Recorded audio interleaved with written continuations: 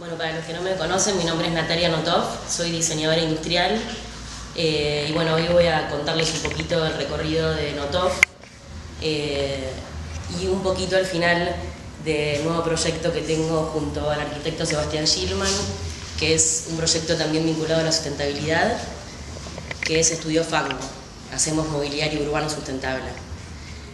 Pero bueno, para arrancar... Eh, para esta presentación pensé un poco desde dónde arrancar y eh, siempre como que empiezo con una diapositiva que habla, no todo fue es un estudio de diseño y les empiezo a explicar un poco de qué se trata ya de una. Y esta vez pensé que, quizá podía ir un poquito más para atrás y... Eh, porque cuando pienso en, en esto de reutilizar materiales y como yo estudié diseño industrial, es como que lo primero que se me viene es pensar bueno, estudié diseño industrial, por lo tanto es, lógico que me guste eh, desarrollar productos y en algún momento, con las ganas de empezar a, tener algún proyecto, eh, me pasó que cuando iba por la calle veía cosas tiradas, decía, no, no puede ser esto, como nadie lo agarra, no lo aprovecha. Eh, el material veía como el potencial en, materiales que me daba como pena, o sea, como que no sé, tenía todo un proceso industrial que yo decía, pero yo necesitaría muchas máquinas para poder lograr eso, el material, tengo todo ahí, lo aprovecho. Pero yendo más atrás y, pensando ya cuando quizá tenía 15 años, por el 94, una cosa así, para muchos quizás es como muy lejos, eh, recordé como ese momento en el que yo eh, viví siempre en Pilar y y bueno, eh, digamos, allá en Pilar, lo, eh, es un momento muy emotivo para mí. Nada, le voy a compartir, digamos, algo, algo propio y por ahí me agarra como una cosita. Eh, digamos, la situación económica que yo vivía en mi familia no era la más abundante, digamos, era relativamente escasa, en la que mis padres trabajaban para darnos una educación eh, en este caso era privada porque eh, no teníamos la suerte que quizá en Capital tienen que el, Estado eh, permite una educación que está buena. Y, bueno, mis papás trabajaban para darnos una buena educación, pero bueno, digamos, el espacio en el que vivíamos por ahí, para mí, quizás ya con un ojo también desde el diseño, no, me, gustaba, me parecía que, no sé, no era tan agradable para mí. Entonces, Claro, ¿yo qué hacía? Hacía lo que hago ahora, que es agarraba lo que tenía, lo que encontraba y lo transformaba en objetos que embellecían el espacio en el que yo estaba. O sea, y cuando en algún momento me di cuenta de eso dije, wow, o sea, realmente me emociona porque pienso, claro, yo ni tenía un... Eh, ni sabía que estaba reutilizando, ni que quizás estaba en el camino de la sustentabilidad y el cuidado del medio ambiente, sino que en realidad ¿De dónde partía? De la necesidad, de la falta.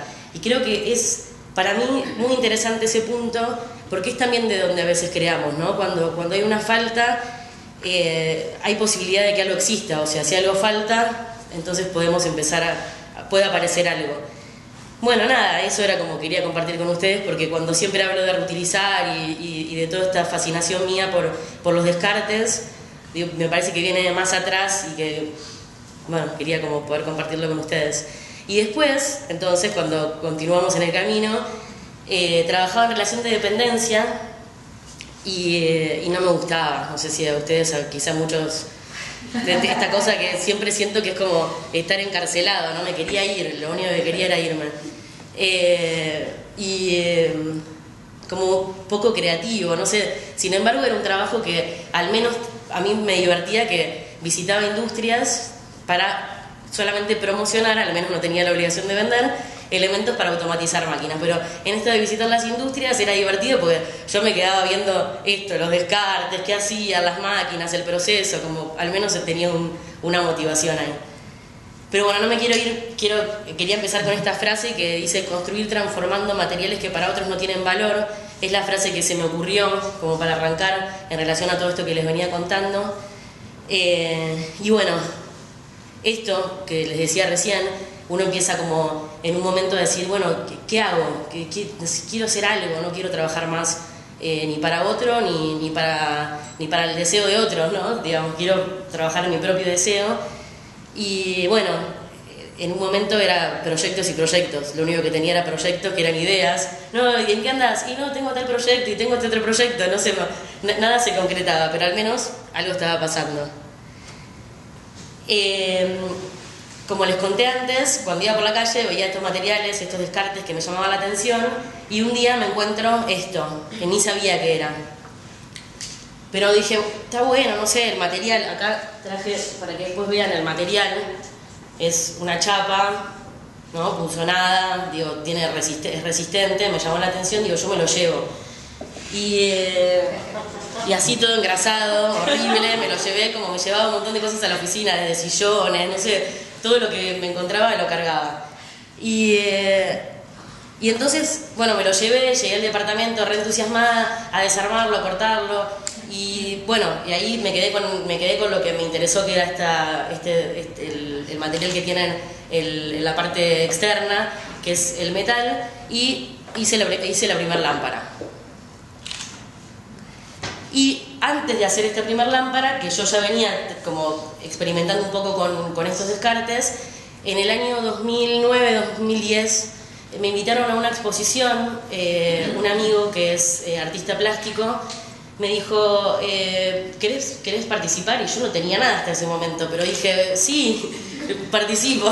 Y fui al taller, que es el taller de mi papá, y empecé a hacer esto con lo que tenía. Otra vez apareció como esto, bueno, y, como que me dejé de dar vueltas en esto que a veces quizá a mí me pasaba, ¿no? Como diseñadora industrial, de como siempre pensar como que no sé qué tenemos que diseñar, ¿viste? Es como, wow, el, el objeto, el ideal ese, y como que me bajé de ahí y me dio la posibilidad de empezar a hacer eso. Entonces hice con eso que tenía, hoy lo veo y digo, es un horror, pero bueno, son los comienzos y son muy valorados para mí. Eh, ahí empecé, no tenía marca, nada, pero cuando sí ya empecé a producir las lámparas, empecé a pensar un nombre y ahí surgió Notof. Lo que hacemos en Notof es, por un lado, productos que son principalmente estas lámparas con filtros de aire de camiones y de colectivos, y también brindamos servicios que están más focalizados a, organismos gubernamentales.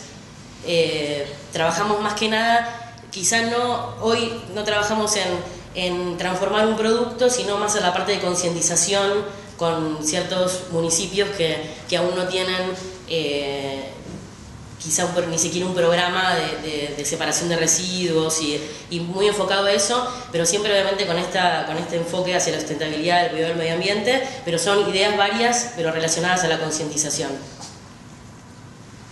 Esta es parte del, del, catálogo que hoy tenemos. Eh, siempre igual eh, trabajamos con, intentamos trabajar con pocos materiales el filtro es como el protagonista de todo esto que hace de tulipa de las lámparas y después trabajamos también con, materiales bastante nobles y simples, ¿no? tipo el vidrio, eh, el acero inoxidable, el hierro que lo pintamos, hacemos, hacemos pintura al horno que está tercerizado, eh, pero bueno, siempre como buscando que con poco podamos tener un objeto que, de diseño.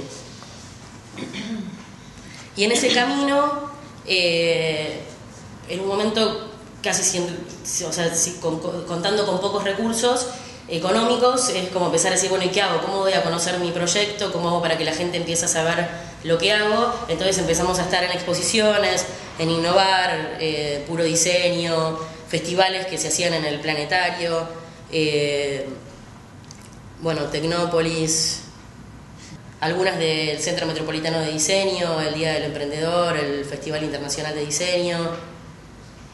Esta es la muestra que se hizo el año pasado de diseño argentino contemporáneo.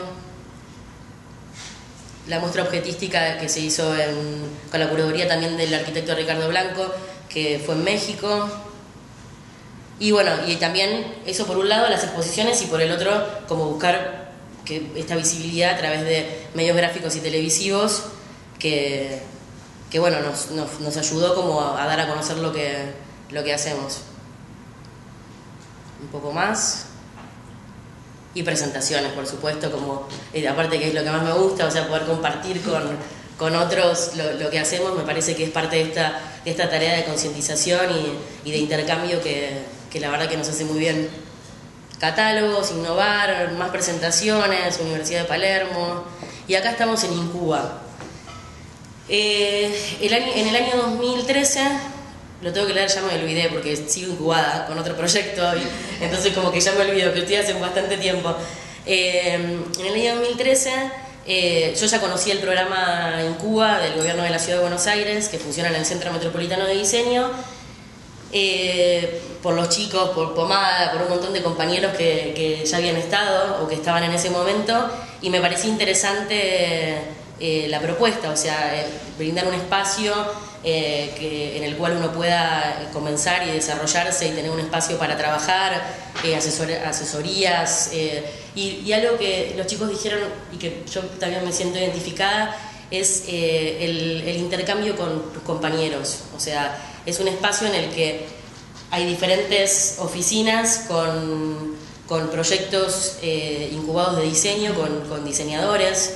Y eh, la verdad que eh, creo que una de las cosas más importantes es ese, ese, ese intercambio en el pasillo, juntarse, ir a, la oficina del otro y charlar acerca de, viste, te paso una data, no, ¿sabes qué? Está tal, tal, tal exposición o, créditos y esas cuestiones que la verdad es que, que sirvieron mucho y, y, bueno, y el año, eso fue en Cuba 9 y el año pasado me presenté con el proyecto de estudio Fango, eh, que como les decía hacemos mobiliario urbano, son sillones de césped natural, eh, 100% biodegradables, todo un sillón de tierra con césped. Eh, y bueno, y estamos ahí con Sebastián ahora también trabajando. Notov funciona más en el taller de Pilar eh, igual mi cabeza está funcionando y en el Centro Metropolitano de Diseño inevitablemente un poco y un poco, ¿no? Hacemos a veces, pienso algunas cosas, cuestiones de NOTOF, pero bueno, estamos con, con Fango. Esta es la presentación, les quería mostrar un poco lo de Fango. Es este el sillón, es un sillón de... quizás, perdón, no, tiene que ver con, con la reutilización, pero quería así presentar que tiene que ver igual con, la sustentabilidad. Eh, es un sillón de todo de tierra con una superficie de césped natural que es grama baiana. Eh, bueno, tenemos dos, eh, dos líneas de alguna manera, una que es la fija, que es para cualquier espacio verde, plazas, cualquier terreno natural, y después tenemos la versión móvil que sí la usamos para brindar servicios de alquiler donde llevamos a cualquier exposición y sin ningún problema después se retiran. Eh, y bueno, eso es, es un poco esto de Fango. Hay un poco en Tecnópolis, en el Olapalooza del 2014 y 2015. Y bueno, terminé con... Ahí